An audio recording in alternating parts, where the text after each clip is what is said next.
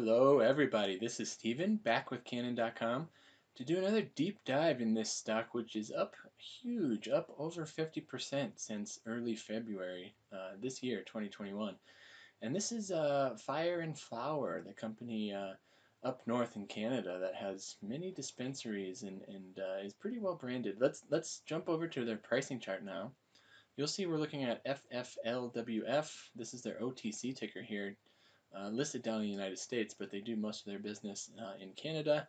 And you can see January we're trading around 70 cents. That actually dips uh, to low 60s, and then this huge move we see it actually goes all the way up above a dollar, and, and currently is uh, given a little bit of that back, trading around 98 cents now. So why did this happen? Let's see if it was technically driven or fundamentally driven, uh, and whether we could have uh, seen it coming or not.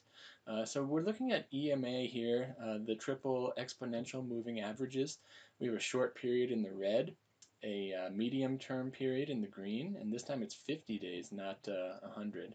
And then a long term in the blue, that's our 200 still. So you can see the blue is definitely still behind. These lines are pretty superimposed, hard to see which one is where on top or on bottom from the last week in January. And then we see our move, and then finally, a couple days later, we see our short-term average really take off. We could not have predicted this, this move and gotten a good buy-in using the, the exponential moving averages here. You can see it's lagging indicator. We have the CCI, the Commodity Channel Index. Uh, again, our bounds on the upper and lower end here are 100 and negative 100. Uh, we were actually below. We peaked at, what was that, minus 219 on the 28th of January. And then look at this slope change, pretty drastic slope change, taking us uh, from negative 100 to 100 in just two uh, days. Uh, so that's a pretty quick change.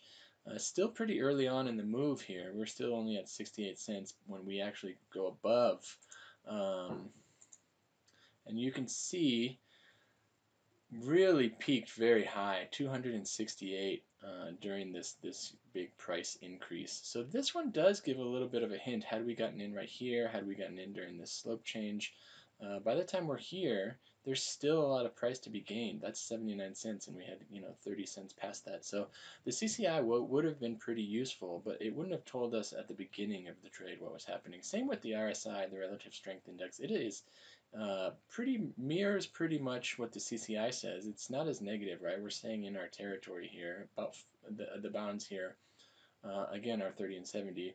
And you can say we're pretty middle of the board until February 8th when we actually get a peak. That's the same kind of signal at 79 uh, cents that we saw the peak of the CCI. Uh, is the cross of the RSI. So these two signals are giving us a little bit of a signal to buy. They're giving it here on the 8th of February. Um, an earlier signal would have been a couple days earlier, but still plenty to gain using these. So none of our uh, three indicators here are really telling us and predicting that this big move is coming. Uh, so perhaps it was fundamentally driven, and indeed there was some news about a NASDAQ listing and some acquisitions. Uh, so definitely pay attention to uh, the Cannin Chronicle this weekend when we're going to outline both uh, the fundamentals uh, and this technical analysis.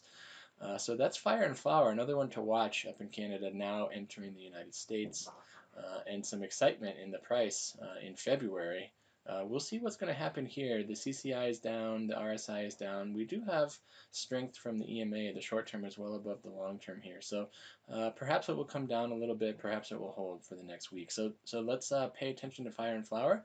Thank you very much. Happy trading.